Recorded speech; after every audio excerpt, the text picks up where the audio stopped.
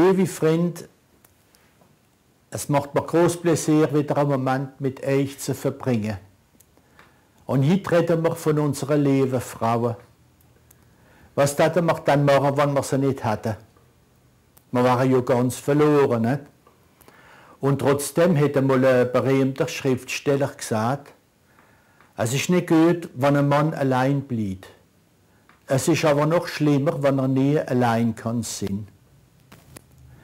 Also heute reden wir ein bisschen von euch, liebe Damen, und wir fangen an mit einem kleinen Gedichtel, Böwe Spring.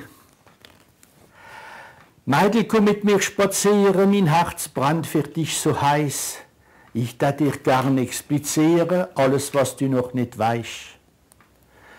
Bebel halt mit ihnen über, du stehst nicht in meinen Wünsch, geh du irgends anders güge, dass der dummes Gansel findest. Öffne mir ein bisschen das Herz, meiner Kummer ist so schwach, bald sterb ich vor Lebensschmerzen, ohne dich ist die Welt so lach. Mama hat mir schon vor Jahren gesagt, glaub nie, was er Böse erzählt. Kaum fangst an, bist gleich verloren und fürs Leben lang gequält.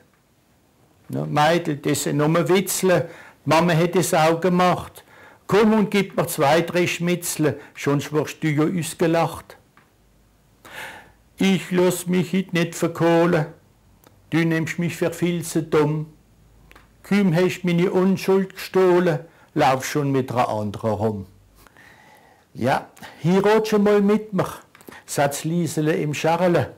Man sagt der Scharle niemals, denn bei uns heiraten wir nur in der Familie. Der Papa mit der Mama, der Onkel mit der Tante, der Papi mit der Mami. Ja, und dann kommt auch Zeit, wie die Verlebten miteinander ausgehen und versprachen sich viel Dings, hauptsächlich an der Saint-Valentin. Kleines Gedichtel, wie heißt Saint-Valentin. Sie sitzen beide auf der Bank und schmüsen. Ein Sterne an der Himmelswand dort durchsüßen. Es ist heute St. Valentin und sie sagen, jetzt bist du mir und ich bin din fürs ganze Leben. Das milde Hüche von der Nacht dort sie nicht stehren und der Mond grinst und betracht, wie sie sich ehren. Sie bauen schon ihr Nest im Traum für lange Jahre und wünschen sich für den Stammbaum ein Kind geboren. Sie murmeln ließlich durch Zehn ewige Treue. Sie wissen es nicht, neunmal auf zehn ist es doch gelöje. Sie sitzen beide auf der Bank und haben geschmüst ein Engel an der Himmelswand ist durchgesüßt. Und so will sich jeder eine Rüss suchen. Besser gesagt, jeder ist froh, wenn er je eine findet. Im Moschee ist es einmal zugegangen. Ach geht spazieren in der Hauptstraße und sieht, wie die schöne Sarah am Fenster leid in der Sonne und Leute wie durchgehen. Nur sagt er, oh Sarah, bist du so schön. Kann dich nicht ein bisschen aufkommen zu dir? Man könnte, ja, na, man könnte ein bisschen etwas machen.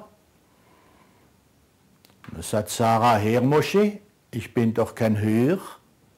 Dann sagt der Mosche, ja, wer hat dann von bezahlen? Ja, manchmal glaubt es nicht. So wie bei Mosche. Bei mir ist es auch nicht geklappt mit dem Marigel. Ich habe sie mit die Gedicht.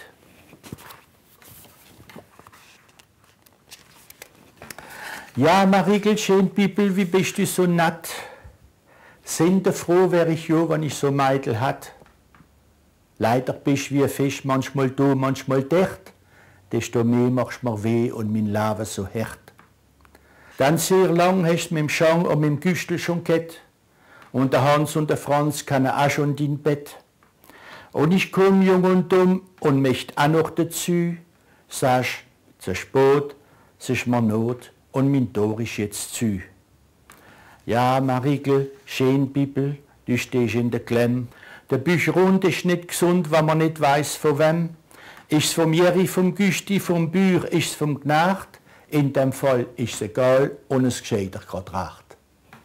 Die zwei Freundinnen, wie sie schon lange nicht mehr gesehen haben, die treffen sich auf der Straße. Von was reden sie natürlich? Von ihren Kindern.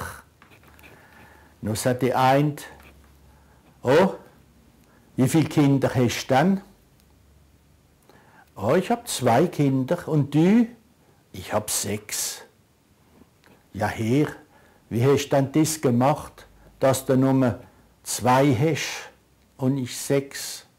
Dann sagt Sally, ja, weißt meiner Mann sagt Mandeln an. Dann sagt der andere, und meiner Tolle sagt das Pyjama aus. Jetzt kommt ein Gedicht, wie Angst heißt. Wenn du sogar eine Feile hast, warum sperrst du sie in einen Käfig? Wenn du sogar ein Fischele hast, warum machst du sie in ein Aquarium? Wenn du sogar ein Blümele hast, warum schneidest du nicht den Stiel ab? Und wenn du mich sogar hast, Mensch, macht das mir noch Angst. Ja, ja, es klappt also immer so in einer Ehe. Das Paar ist in einer Wirtschaft gesessen. Und dann sahen sie im Eck am Tisch eine Frau sitzen, ein Glas Whisky vorne an sich und wie schon ein bisschen ein kleiner Schwips hat. Und der Mann vom Paar, der betrachtet die Frau und betrachtet sie und betrachtet sie und seine Frau sagt, Herr, warum löscht dann die Frau alles an? Kannst du sie? Dann sagt er, ja, ja, es ist meine erste Frau. Was ist deine erste Frau? Ja, ja, es ist meine erste Frau. Sind er schon lange gescheiden? Ja, sieben Jahre. Offendeckelt sagt die Frau, ich habe nicht gedacht, dass man diese so lange feiern kann. In diesen zwei Freunden ist es auch nicht besser gegangen. Die trafen sich auf der Straße und reden von ihrer Frau. Dann sagt der eine, na, meine Frau ist ein Angel. Dann sagt der andere, hast du Chance, meine lebt noch. Und die zwei anderen Freunde, wie sich trafen so auf der Straße, wie auch von ihrer Frau reden. Dann sagt der eine, ich habe keine Chance mit der Frau. Ah, warum? Ah ja, der erste ist mir ab. Und zweit, zweit ist geblieben. Und das Beste, wenn man geheiratet ist, dann hat man eine schwere Mama. Zwei, zwei Freunde haben sich angetroffen auf der Straße und dann sagt der andere, ja, ich habe gehört, dass deine, deine Schwiegermama gestorben ist. Dann sagt er, ja. Und was hat sie gehabt? Ja, Nochmal eine Zwei-Zimmer-Wohnung. Nein, ich meine, was hätte ihr gefällt? Ah, ein anständig Bad und ein Lavabo. Nein, ich meine, von was ist sie gestorben? Ah, sie ist Kallerstein untergeht, wie sie Kronbergerhof hätte holen Au, was hat er noch gemacht? Ein Nüdle. So, liebe Freund, es langt für heute. Wir sehen uns bald wieder. Bis dann, bleibe gesund und munter. Ein Elsasser geht nie unter. Salut zusammen.